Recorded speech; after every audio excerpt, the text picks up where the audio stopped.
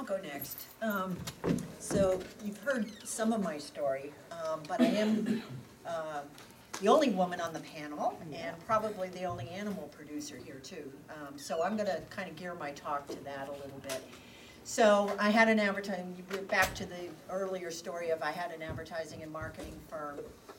And um, the thing I liked about that the most was getting, learning about new products. I sold everything from corn nuts to fire engines, you know, I mean, it was just, everything was new and different, and I'd have to start from scratch and learning it, and that's what farming is all about.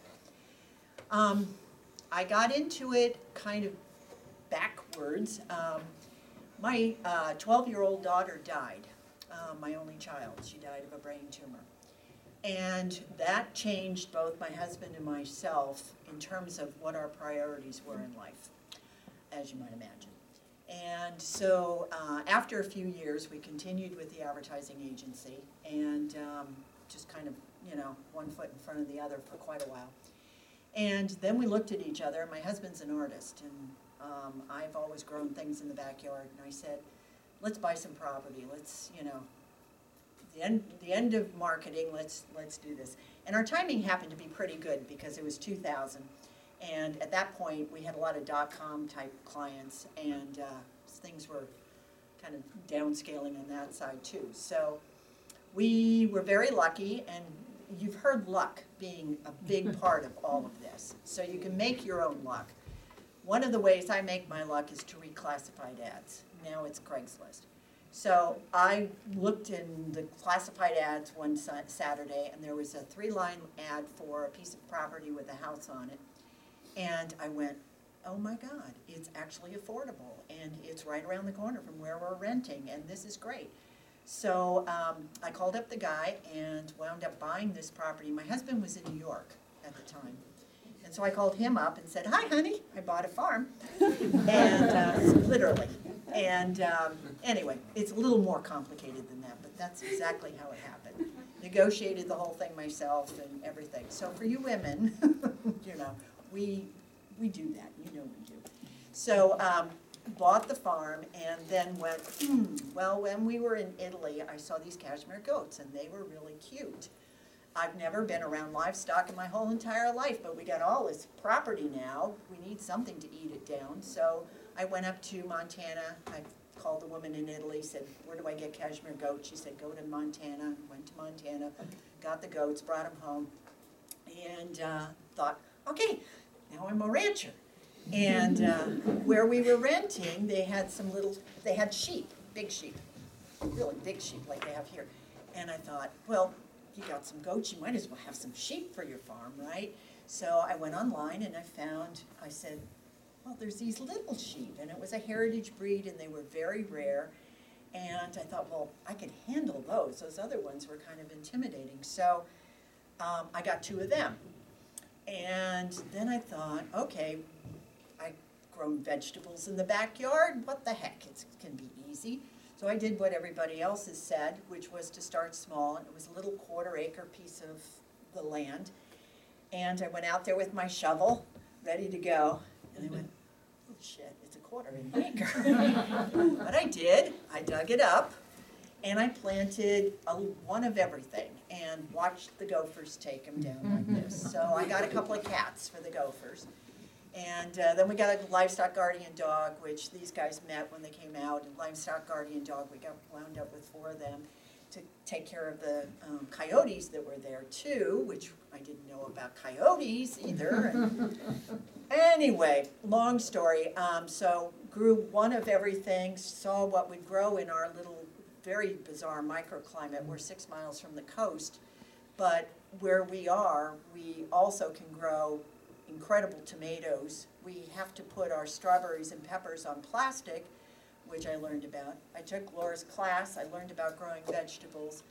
But my marketing background was really what saved me, which was do the market research, find out what your customers are looking for, um, test the waters with, you know, a little bit of this and a little bit of that. Um, I unfortunately didn't know Scott at the time, so I wound up doing, you know, seventy different crops. I still do seventy or eighty, I don't know, I, whoever counts these things. I do a lot of different crops. But what everybody else has said as well is something that's really important, is you've gotta keep yourself amused. You know, this is damn hard work. And seventy hour, eighty hour work weeks are gonna kill you if you're not having some fun at the same time. Animals bring fun to me. Um, I use my sheep now, I now have a hundred of the sheep, we lease them out to vineyards. They, they make more money for us than vegetables ever will. Um, I sell the lambs for five hundred to nine hundred dollars each at, you know, six, three months old. You're never gonna get that on a meat market. Um, I use the wool to make comforters, I sell those for up to four hundred dollars. You know, I'm not rich, I'm not making lots of money, but every little thing helps pay the mortgage. Um, anyway, uh, back to, so I, the first thing we did was to go to a farmer's market, thinking that's what all farmers do, right? So we went to the one in the uh, downtown in Santa Rosa, and my, uh, I think he was twelve at the time, my nephew came with us. And we're doing bags of salad mix, you know, and we got the bags and we're weighing them out, and it's fifty cents please, and dollar please. And my nephew turns to me and he goes, you know, AD, which is what he calls me, Aunt Deborah, AD, you know what you need is heavy lettuce. And I went, whoa, that's how iceberg started, you know? I mean, it weighs a lot more per pound than anything else, and people like it. So I was like, you, you know, who needs marketing? This kid's, he knows what he's doing. So anyway, then uh, we got some chickens, and of course I had to research what's the what's an unusual chicken, and so we got the what were Americanas or Araucanas or now Americanas, and they lay blue and green eggs, and people still love those. And um, pasture raised was always something we were doing, and um, then it- let's see what else came along. Uh, grain.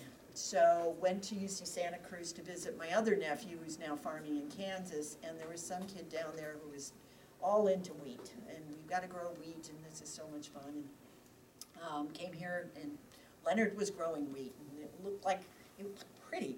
So I thought, wow, I'd grow some wheat. So I looked and remembered in Italy that the rarest wheat there and the one that I liked the best was um, farro, which is emmer. And it's an ancient wheat, and I thought, well, that'll be fun.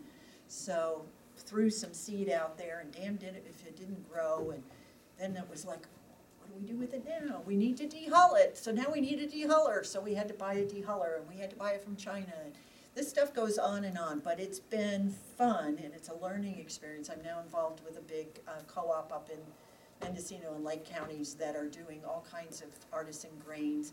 So I thought, well, in addition to the uh, farro, I want to grow some things that bakers can use for their bread. And I know I like sunflowers on my, sunflower seeds on my bread, so we're growing sunflowers and we're growing flax.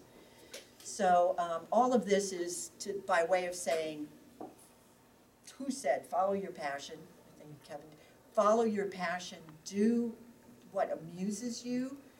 Don't put all your money into it, however, and I believe very strongly in the diversity, the idea of having animals, vegetables, minerals if you can find them, um, strike oil, do, you know, whatever you can to have a lot of things. And yes, I'm the kind of person who likes to have a lot of balls in the air. Some of them drop, but most of them I'm able to juggle and find time to enjoy myself, because that's what it's all about. Okay.